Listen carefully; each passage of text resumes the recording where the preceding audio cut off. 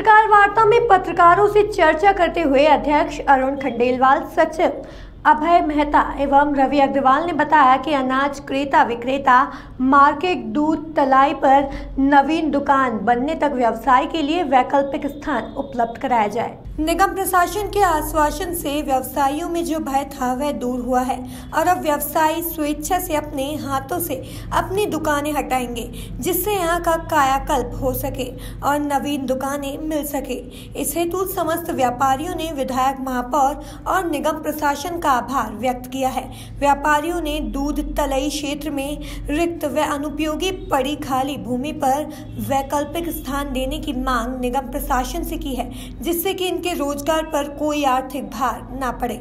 यहाँ के व्यापार से सौ परिवार जुड़े हैं और जो कुछ समय के लिए बेरोजगार हो जाएँगे, जिनकी आजीविका चलाने के लिए पास में ही कोई वैकल्पिक स्थान उपलब्ध करवाने के लिए निगम प्रशासन से निवेदन किया है। साथ ही सुदामा अनाज विक्रेता मार्केट उज्जैन पर दशकों से संचालित अनाज मार्केट का कायाकल्प होने जा रहा है, जिसको लेकर नगर निगम द्वारा लंबे समय से स्थानीय व्यवसायियों द्वारा पुरजोर विरोध किया जा रहा है। अपनी आवाज़ उज्जैन से भोपाल तक पहुँचाने गई, जिससे कि ग्रांड होटल पर निगम की महापौर मीना जोनवाल, क्षेत्रीय विधायक पारसचंद जैन निगम आयुक्त ऋषि गर्ग ने समस्त व्यापारियों को आश्वस्त किया कि आप व्यवसायी द्वारा अपनी दुकान स्वेच्छा से हटाने पर निगम शीघ्र ही यहाँ कॉम्प्लेक्स बनाकर आपकी दुकानें वाजिब मूल्य पर आवंटित कर देगा। भाई हम ये चाहते हैं कि ये निर्माण लागत कम से कम दर पे मिल जाए। क्योंकि यहाँ पे अत्यधिक ऐसे लोग हैं जैसे भाइयाँ हैं। इससे है अभी कितनी दुकानें यहाँ पर? सैंतीस दुकान। अभी वर्तमान में सैंतीस दुकान है। और उन्होंने नक्शा सैंतीस दुकान का ही बनाया। है सैंतीस दुकानें आमंत्रित करेंगे। और एक निवेदन उनसे किया था माननीय कमिश्नर महोदय से कि भाई हमको वैकल्पिक रूप के रूप में जो बाहर गाड़ियाँ खड़ी होती है, यहाँ पे दे दिया जाए। तो अधिकारी लोगों ने बुलाया था और आश्वासन दिया है कि बना के देंगे। कम से कम पैसे लेने की कोशिश करेंगे। जिसमें महापौर महोदय, कमिश्नर महोदय, वर्तमान विधायक पारस जी क्षेत्रीय पार्षद भी थे। पार्षद भी थे। एम सदस्य भी वहाँ बैठे थे कल वर्तमान।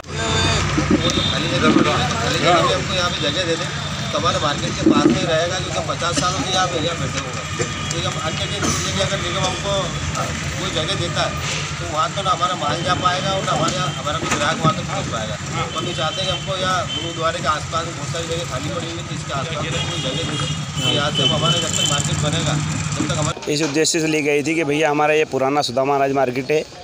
लगभग साठ वर्षों से यहाँ व्यवसाय कर रहे हैं। हम हमारे माता पिता ही व्यवसाय कर रहे थे। 1972 से। तीन पीढ़ियाँ हो गई और कल कमिश्नर साहब से मीटिंग हुई थी हमारी। उन्होंने हमने निवेदन किया था भाई ये नवीन कॉम्प्लेक्स जो बन रहा है, इसमें हमको दुकानें तो आवंटित कर ही रहे हैं, साथ में वैकल्पिक व्यवस्था के रूप में हमको सामने जो जगह है मेटाडोर यूनियन वाली, या तो वो दे दें, या आप हमारे पीछे देख रहे हैं जो जगह खाली पड़ी है, लगभग 40 फीट के आसपास, ये दे दें तो हमारी रोजी रोटी भी चलती रहेगी और सबका व्यवसाय भी लगा रहेगा और कॉम्प्लेक्स भी निर्मित हो जाएगा। और उस चीज़ को मानने से माननीय कमिश्नर जी ने इनकार कर दिया। दो तीन सुझाव उन्होंने दिए हैं एक नगर कोट की महारानी में एक बहादुरगंज में जो पुराना सब्ज़ी मंडी बन के पड़ा हुआ है वो।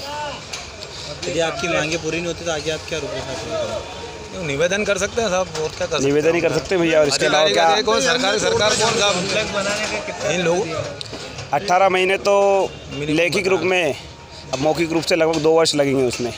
और भैया लगभग सौ परिवार की रोजी रोटी का सवाल है। हज़ार आदमी जुड़े हुए हैं सैंतीस तो हम दुकानदार हैं पच्चीस घुमटी वाले हैं और लगभग तीस से चालीस हम माल हैं। सौ परिवार पूरे तरह से बेरोजगार हो जाएँगे। उज्जैन से राजेंद्र परिहार की रिपोर्ट।